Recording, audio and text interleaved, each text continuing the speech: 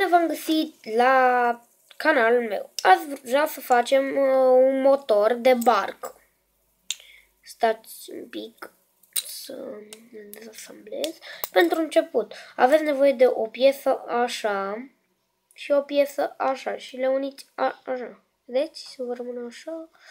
Bun. Am luat o piesă din aceasta și uniți aici sus. Vedeți? Am luat o piesă din aceasta și uniți aici. Acum luați o, două piese din acestea și le uniți a, aici, din acestea, aici și aici. Am luat o piesă din aceasta și o uniți aici.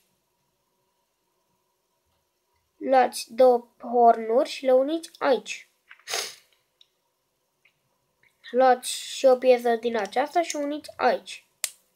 Acesta este motorul nostru de barcă. Vă aștept la următorul tutorial. Până atunci, pa!